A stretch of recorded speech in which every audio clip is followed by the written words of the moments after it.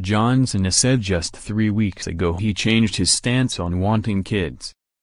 John Cena and Nikki Bella's breakup may have shocked some fans, but their split maybe seemed inevitable given their differing views on one important topic, whether or not to have children.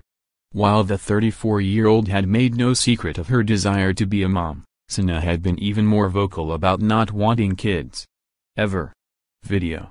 John Reed's insane thirst tweets with a straight face when Bella brought up the idea of reproducing in a 2013 episode of Total Divas. The WWE superstar straight up said, I'm going to choose my words carefully.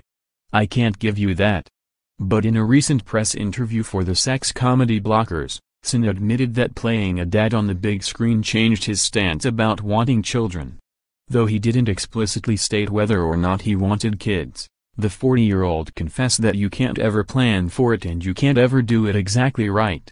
If we were Nikki watching this three weeks ago, we'd see a man ready to walk down the aisle. But now. Kind of seems like all talk for the camera. Do you think he was telling the truth here? CHCH check out the confession in the video, above, around the 2 o'clock mark, and sound off in the comments.